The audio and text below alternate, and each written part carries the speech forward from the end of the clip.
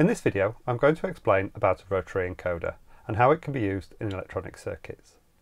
I'll be using a Raspberry Pi Pico, but the encoder can be used with other microcontrollers such as an Arduino, or you could use it with a Raspberry Pi computer. Quick look at what I'll be covering in this video. First, a quick introduction into what a rotary encoder is and when you'd want to use one. Then an explanation of how they work, including some waveforms and also some potential issues with certain encoders.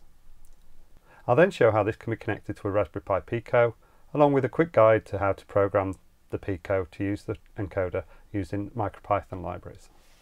So, first of all, what is a rotary encoder? It's a way of measuring rotary position or motion.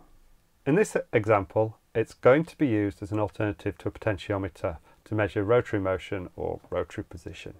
When you look at the potentiometer and a rotary encoder, then they look very similar. They both have a rotary shaft and often the same number of pins, but the way they work and how they are used is very different. In an earlier video, I showed a potentiometer can be used for a voltage divider. The further the dial was turned, the higher the output. And this works well for some projects, but it does have some drawbacks. The first is that a potentiometer can usually only turn a set distance, typically 270 degrees, although some can move several full rotations. But the other issue is when you use a potentiometer as one way of controlling the value, along with an alternative input, such as a web interface. The rotary encoder provides a way of knowing which direction the encoder is moving relative to its current position, which overcomes these limitations of the potentiometer. A typical example you have likely seen is the volume control on a modern car entertainment system. There is often a dial to control the volume,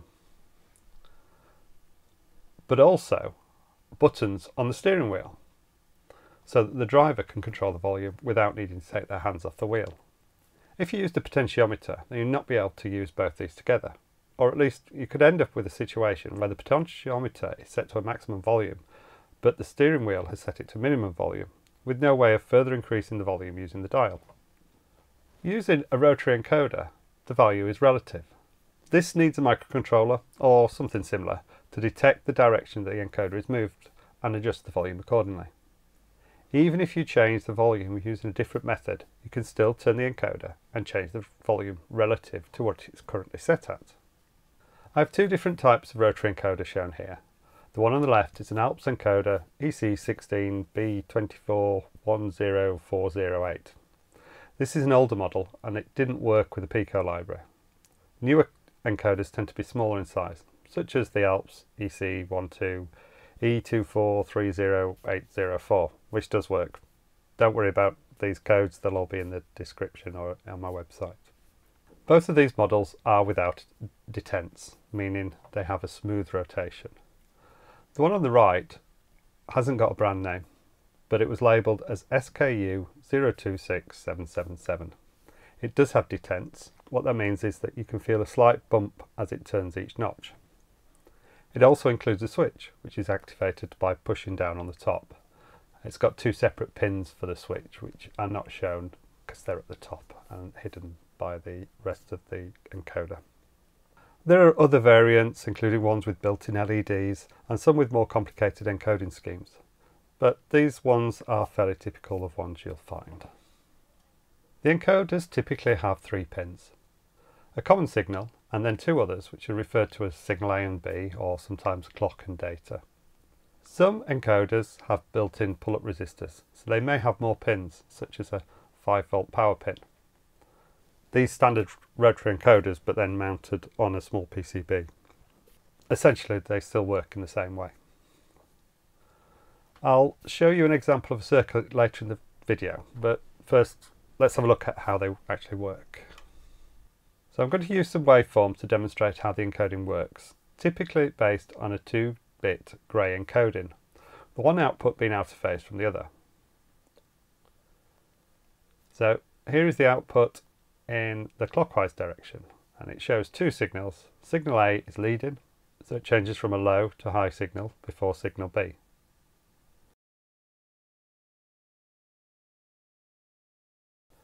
When the encoder moves in the anti-clockwise direction, or counterclockwise, then signal B is leading and that changes to a high signal before signal A.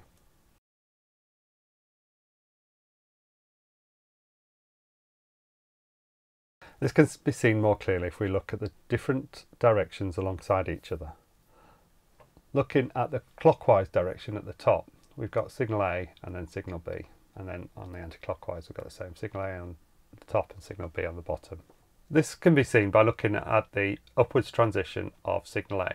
If we look at the clockwise direction, when signal A first transitions upwards, then signal B is at a low value and the same on the second pulse.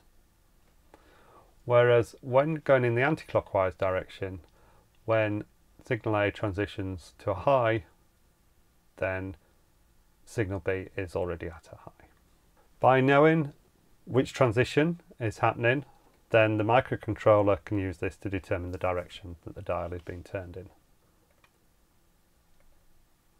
At least that is theory of how they should look like. And one of my encoders does look similar to that, as shown by this display here. I've used pull-up resistors for this on the circuit, so the pulses go down to negative rather than up to positive, as I showed in the previous waveforms.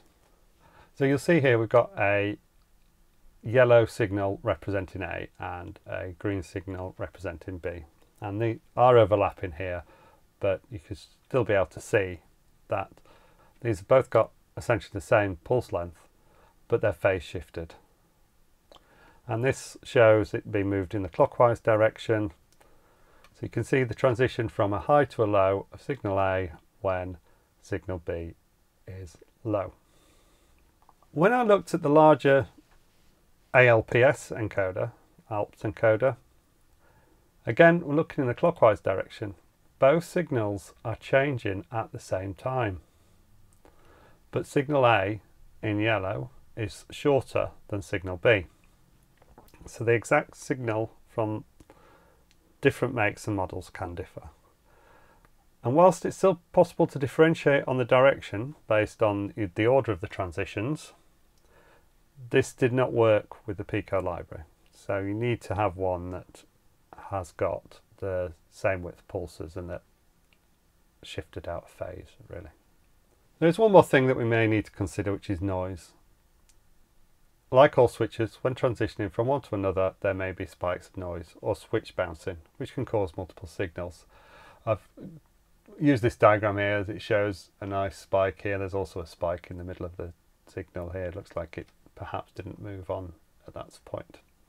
So you might need to clean these out to prevent these creating additional triggering. You could do that by adding external circuitry to filter out the noise. But the software library we'll use is based around a state machine and the way that that operates means that this noise will be ignored. So it's not necessary here that we have to actually do some separate debouncing. Here's an example of the circuit uh, connecting a rotary encoder to a Raspberry Pi Pico. The pins used are pin 14 for signal A and pin 15 for signal B. That's GPIO pins 14 and 15 and these will be referred to in the code as the clock and data pins.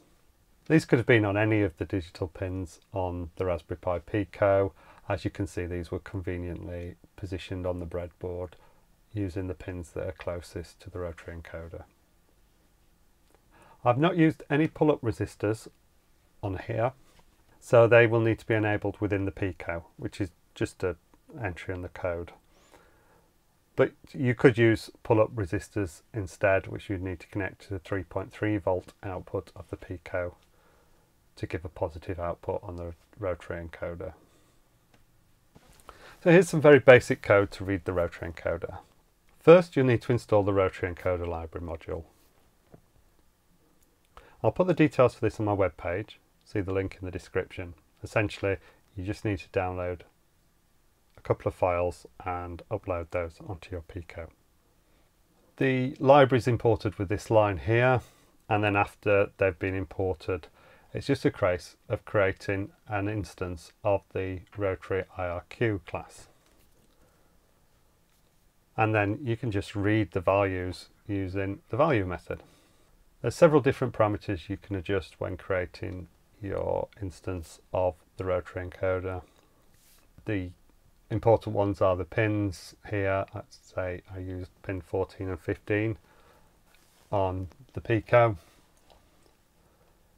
Reverse depends on the direction, depends on the encoder, whether you're wanting it to go increase as you go left or right. And pull up equals true enables the pull up resistors within the Pico because we're not using external pull up resistors. Then there's just a very simple loop which reads the value. It stores it in the old value variable just so that we can do a direct comparison and only show when the value changes. Now that's something you can't necessarily do with a potentiometer and the reason being that potentiometer as a voltage divider gives an analog value and that may fluctuate slightly so if you did a direct comparison then quite often it will change in between samples whereas this is much more digital input and will only change value as you move the encoder. So then as you turn the encoder, the values shown here in the Thonny console will change value as you move clockwise and then change negative as you move anti-clockwise. This is only a very simple example here, but it's a good starting point for other projects so that you can imagine how you could use this to control values for any Pico project that you're wanting to do. So thanks for watching. I hope you found this useful. If so, please give it a like.